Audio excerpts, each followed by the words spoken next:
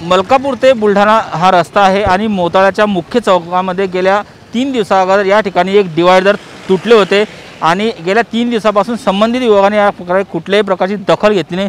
त्यामुळे जाणारे येणारे नागरिक या ठिकाणी मोठ्या प्रमाणात त्रस्त होत आहे आणि या ठिकाणी अपघात होण्याची शक्यता नाकारता येत नाही. आपण पाहू शकतो या ठिकाणी जो डिवायडर आहे पूर्णपणे तुटलेला आहे आणि या ठिकाणी मोठ्या प्रमाणात बाजूलासुद्धा वाहने लागल्या जातात आणि त्यामुळे या ठिकाणी मोठ्या प्रमाणात वाहनांना सुद्धा अडचणीचा सामना करावा लागतो. दुसरीकडे या ठिकाणी ज्या आसारी असारी आहे यासुद्धा निघालेल्या आहे त्यामुळे नागरिकांच्या जीवाशी खेळ संबंधित विभाग खेळतो आहे असे म्हणणे काही वागणं ठरणार नाही.